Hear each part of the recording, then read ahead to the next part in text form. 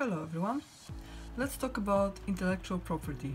If you know me for a little while already, you might have noticed that the name of the company has and also the name of this channel ha has changed and it has changed two times.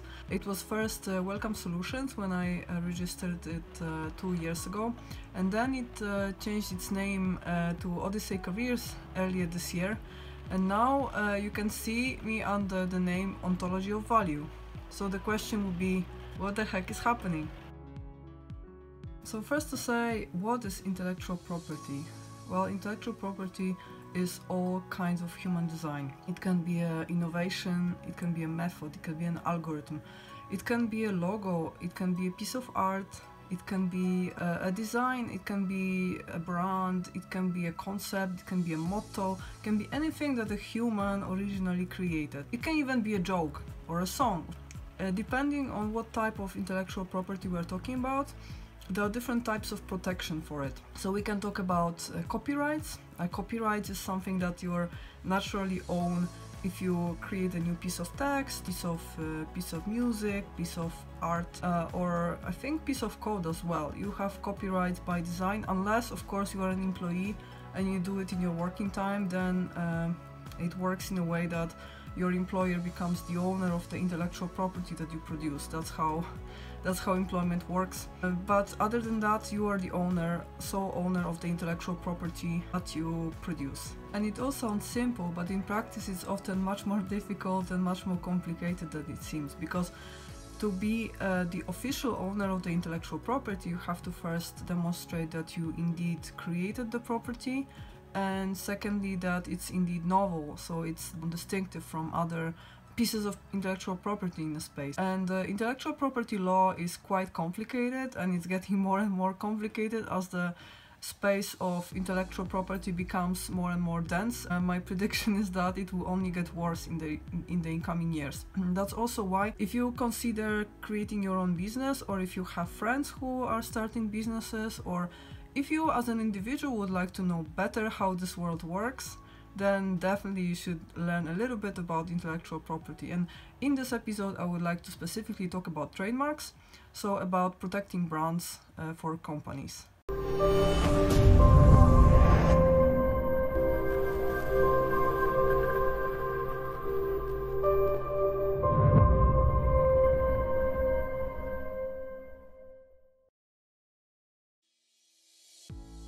So what is a trademark? A trademark can be wording, such as Coca-Cola, or a piece of design, such as Coca-Cola's logo, that makes the company uh, distinctive from other companies in the space. So the purpose of uh, protecting design or uh, a trademark is to uh, secure the company's sole rights to trade under certain brand. The principle is that a trademark protects the company from being misled by other companies. For instance, if there is a Chinese company Coke Coke or, or Coca Cola, then Coca-Cola might object that other company from trading in the same space, in the space of soft drinks for instance, because that might potentially uh, mislead their clients and uh, lead to losses in the company because some of the clients might mess the brand Coca-Cola with another brand and by by share by virtue of of a mistake buy into another company's product. So to prevent such a fraud, uh, trademarks were, were specifically created. You should know that there are multiple different types of trademarks, not just one. It can be a word sign, um, such as the name of the company. It can also be a so-called figurative sign, which means nothing else than a logo. Or it can be a combined sign, which is a combination between a word sign and a figurative sign. There are also multiple other types of trademarks, but they are way less popular. Between the three types, well, I personally feel that a word, uh, word sign is always best to protect because it means that other companies cannot register domains uh, under similar names as yours and also cannot trade. So if you have your word sign protected, you will be more visible online, you will be easier to find. And today, online marketing is everything. If you're not visible online, you don't exist. So a word sign is the best way to protect your visibility and um, and your market share online. Uh, however, word signs are also naturally hard to protect because um, to protect um, a certain brand, you have to not only be distinct from other brands, but you also have to be substantially distinct. So that means if, you, if your name is a synonym of another uh, another company's name, or if your name is uh, like just differs by a few letters, uh, this is enough for another company to object your your trademark. So uh, in that sense, uh, since there's already millions of trademarks registered, it's extremely hard to find a new catchy name uh, for a company that doesn't resemble any of the existing uh, trademark names. I mean, the more abstract your name is, the more chances you have to protect the trademark, but then at the same time, the less it tells about your company and its objectives, so that's always a tra trade off. However, if you have a chance to protect the word sign, I would say this is the best choice you can make. Yet another uh, type of a trademark is a figurative sign. Uh, figurative signs, or in other words logos, they are substantially easier to protect than word signs. It's much easier to make yourself distinct with a distinct logo than with a word sign because there are so many more combinations of possible designs and possible coloring schemes and, uh, and of course uh, company names and the way of stylizing it nicely then there are just uh, word signs. However, well, on the other hand, uh, there's always a shadow to it. So on the other hand, it's, it's it just doesn't protect you from other companies register registering uh, signs and trademarks under similar names as yours. The downside is also that uh, in case your branding changes, so in case you you would like to refresh your logo after a few years, uh, well, your old logo is no longer actual. So, and many companies do it. They do rebrand and refresh their logo every now and then, every few years, and and then you have to get a new protection from for a new logo as the old one doesn't doesn't matter anymore. So, well, I would say this is a weaker type of sign than a word sign. However, in case it's hard for you to register word sign, it's better to have a figurative sign than nothing. So if your space is too dense to register word sign, but there is still a little space for you to to get in with your logo, then I would say uh, I would go for it. And lastly, we have combined signs, which are uh, combinations between uh, names and logos. If you if you protect that, that type of sign, it means that other companies are not allowed to trade under the similar name and similar logo at the same time. So it's a bit of a trade-off between the two. And you should know also that a company name and a trade trademark are two different things. One company can own multiple different uh, trademarks for multiple products and services. And uh, the trademark can be owned by uh, by a company, so a legal person, but it can also be owned by an individual. So you can also apply for a trademark. For instance, if you have a product that you're like designing right now and you're planning to brand uh, in a in some some distant future, uh, you might think of creating a branding for this product already. Although officially, uh, to get a trademark, you have to trade with a product already, um, but uh, you might also start from just creating a website for the prototype and and putting a TM uh, sign on it and applying for a trademark. It's it's a problem of a chicken and egg. So what to start with? Do you start with trading or do you start with uh, protecting a protecting a brand? I would say um, it's best to start with both.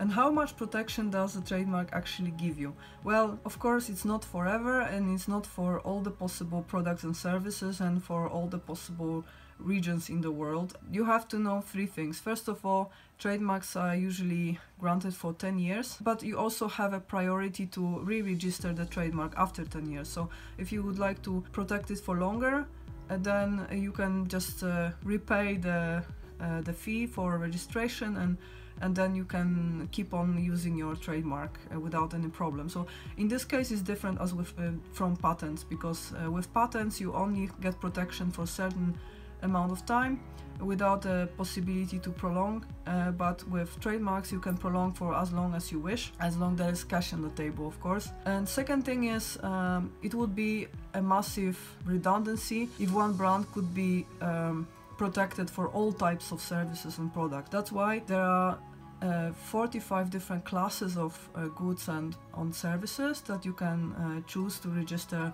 your trademark for. And the first 34 classes are uh, are secured for goods, so physical products, and the last 11 are are secured for for the services. So wh whenever you apply for a trademark, you have to, you have to specify in which class you want to protect uh, protect your brand, and you can protect your brand for multiple classes, and for each additional class there is some additional fee. fee. But in general, you can uh, apply for multiple classes at a time, and once you apply.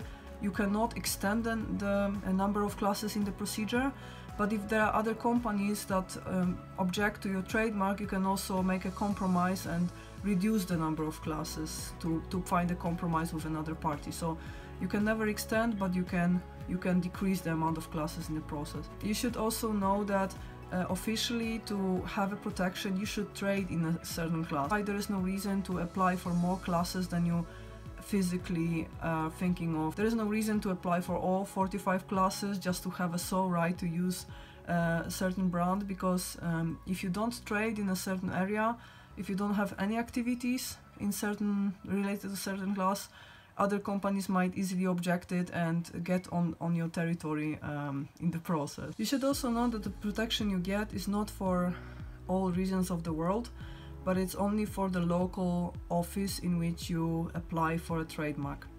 Uh, European Union has one joint office where you can apply for protection in all the member states of the European Union, but it, in general it's hard to protect this way because um, if in any of the member states there is a there is a brand register that uh, is somewhat similar to, to the brand you're uh, applying for, uh, you might get objected. That's why, uh, in general, it's hard to uh, protect your brand for the whole European Union.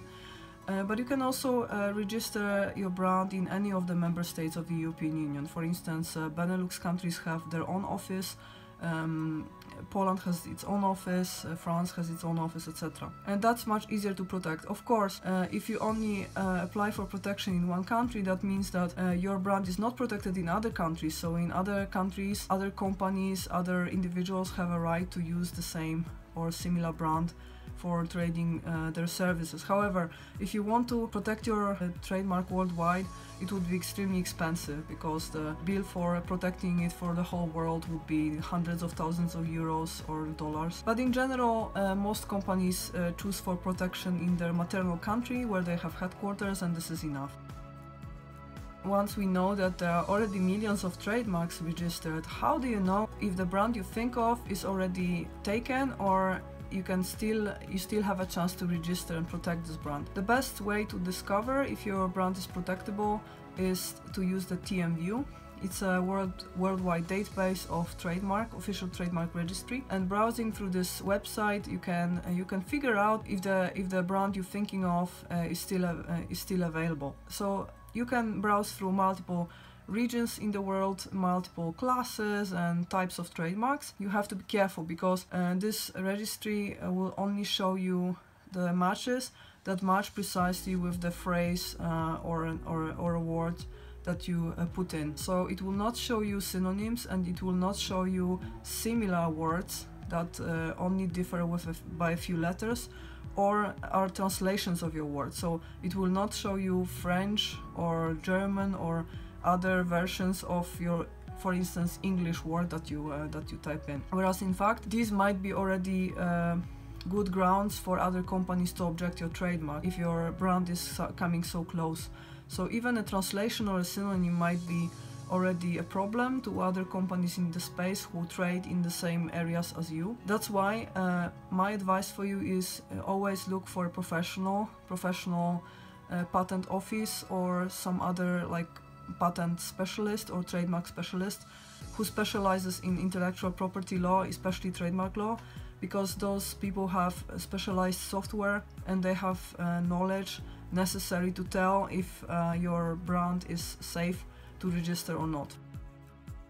So what type of cost do we talk about? Well, uh, in the European Union, the application for the whole EU costs uh, 850 euros for the first class and then 50, 50 euros for the second class and then 150 for every other class on top of that and in every member state of the European Union it's uh, 100, uh, 250 euros uh, for the first uh, first class, so it's cheaper than in in the whole European Union. So in general, these costs are like not as high, given that uh, most of the applicants are legal pe persons, is companies. So for most companies, this is not a high cost to take. The difficulty is not as much about how to raise funds for a trademark, but more how to protect your brand, how to make sure that you are distinctive enough, how to make sure that you uh, you can defend yourself in the process when once other companies potentially have objections toward your trademark. How can you demonstrate that you trade under certain brand already and that your brand is uh, is indeed novel? Today it's already hard, and I think that in the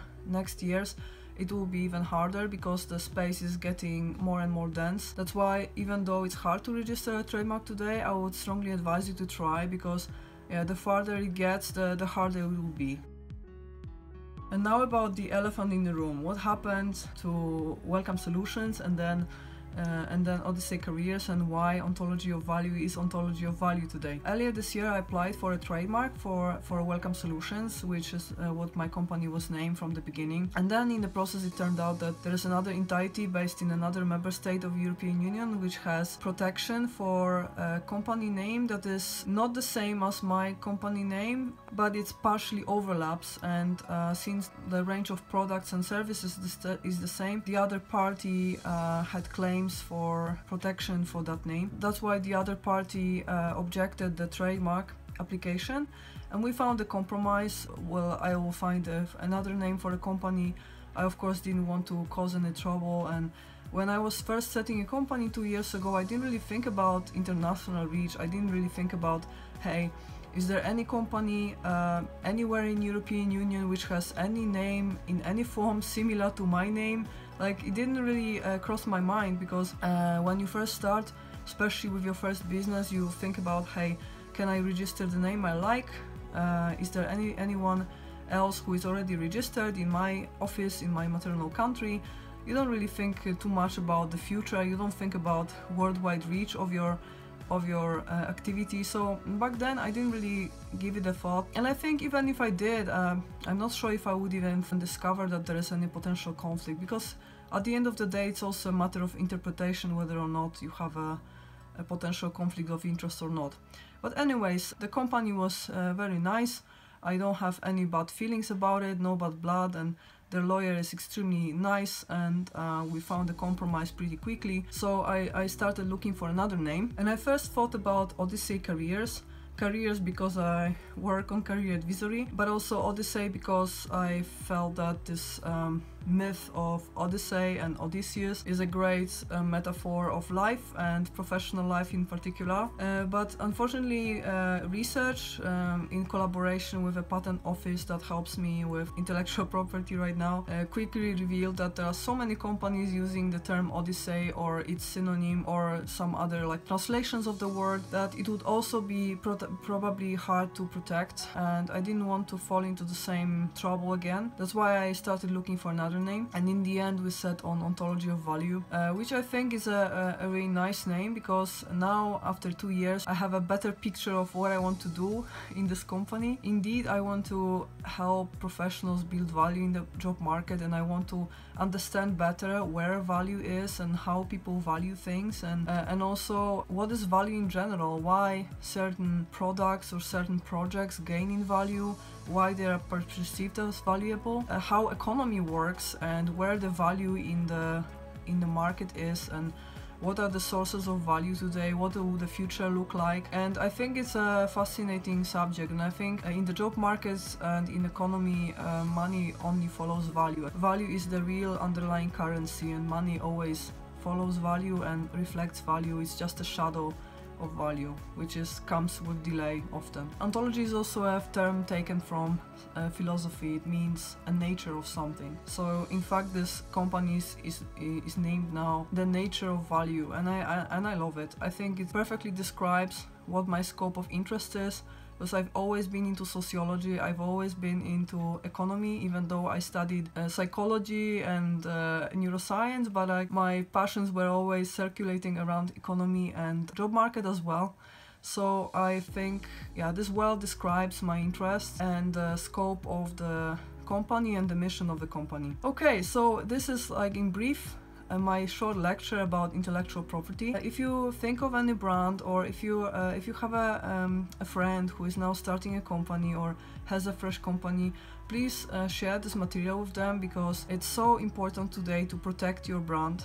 And I can tell you, if you don't do it and at some point you have to change your branding and company name, it's so much hassle. It's so it takes so much time and you will lose also you will lose a lot of clients and you will lose a lot of recognition you kind of have to start over with your website with your seo with your presence online so it's a major major loss that's why it's so extremely important to protect uh, your intellectual property and protect your brand from the first day please share with your friends who might potentially need this material uh, don't forget to protect uh, protect your baby, your company, and your brand. And uh, take care. And if you would like to uh, learn more about the job market, a little bit about business development, but also opportunities on in the job market and all kind of other information that might help you build your professional life, then please subscribe to the channel. And uh, I'm open for discussing. If you have any questions about intellectual property and especially trademarks, please let me know below. And if you have any stories like this, please share below. Uh, let's suffer together and uh, take care guys see you next time